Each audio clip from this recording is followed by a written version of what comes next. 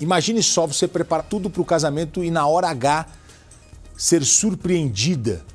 A noiva. Problemas com o buffet? Com a decoração? O vestido não ficou pronto? Nada disso. O problema é com a sogra. A família do noivo, a mãe do noivo.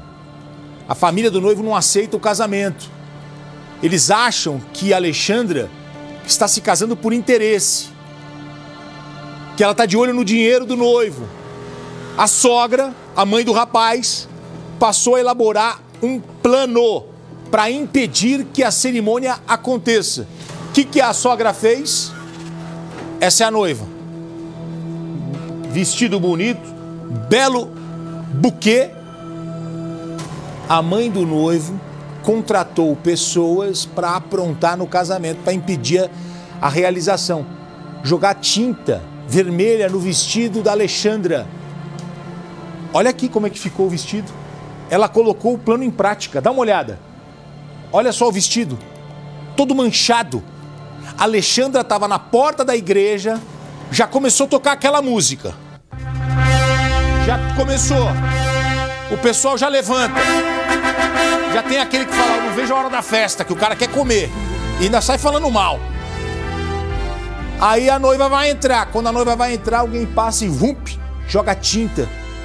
Será que ela desistiu do casamento? E o noivo nessa hora, o que, que ele faz? Reportagem na tela, vamos ver. Um dia inesquecível. O dia de selar uma união. Um dia para ficar na história de um casal apaixonado. Era exatamente o que Alexandre esperava. Tudo foi pensado e preparado com muito carinho, do buffet ao vestido da noiva. O tradicional longo na cor branca foi escolhido a dedo. Tudo pronto para o grande dia e o inesperado acontece. Ao entrar na igreja, Alexandra é atingida por um líquido. Olha para o vestido e percebe que o líquido é vermelho. O vestido fica todo manchado. Alexandra chega a pensar que era sangue. Olha ao redor e vê os convidados chocados. Em seguida, vem a revelação. Alexandra descobre que jogaram tinta vermelha no vestido dela de propósito.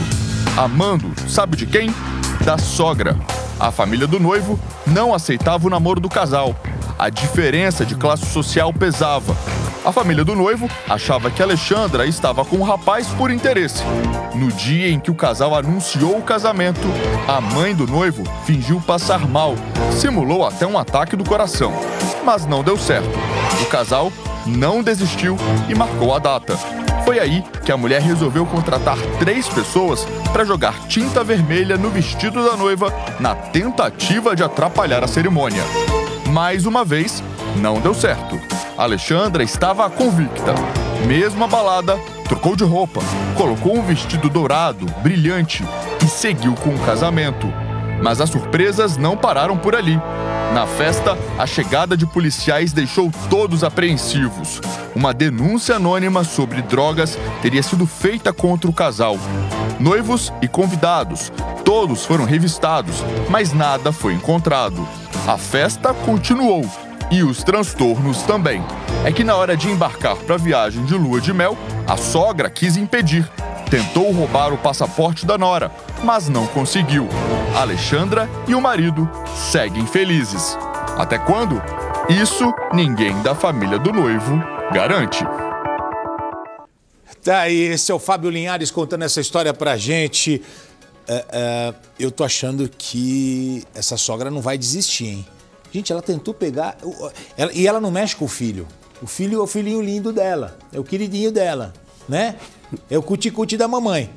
Quando ela vai pegar, vai estragar o vestido dela, vai pegar o passaporte dela, é tudo contra a mulher. Meu, se o cara quer, o cara já é adulto, bicho. O cara quer, deixa o cara casar.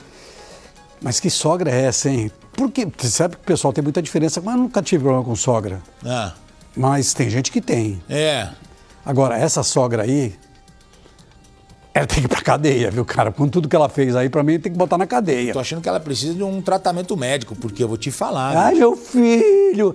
Ele tem um jeito que tem, tem uns 40, uns 35, 40 anos. É daquelas mães, sabe? Ai, meu filho, de jeito nenhum, imagina. Chega uma eu não hora- quero o que quer que é você, quero o que é aquela. Que... Ah, Chega uma hora que tem que sair da tua casa, da tua parentela, sai fora e vai tocar tua vida.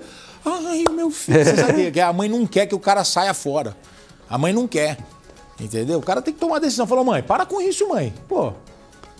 Tá bom, mãe. Eu Agora, vou lá dormir no ele fim for- de semana, que aí a mãe quer que vai lá dormir. Mas se ele for frouxo, não. É, Será que ele é frouxão? Ah, pelo jeito, ele tinha que dar um. Basta. Mãe, já fica na tua, pô. Agora, eu, precisa ver qual foi a postura dele nessa hora. Ele Falou, vamos casar assim mesmo, com um vestido. E falar pra mãe, inclusive, quando sair daqui, vou comprar outro vestido pra ela, pra ela trocar por esse. E a polícia que foi lá em busca de, de droga, de tráfico de cocaína lá, que é absurdo isso. Olha, parece até uma. Esse é um filme, né? Um filme. Dramalhão é, mexicano. É isso.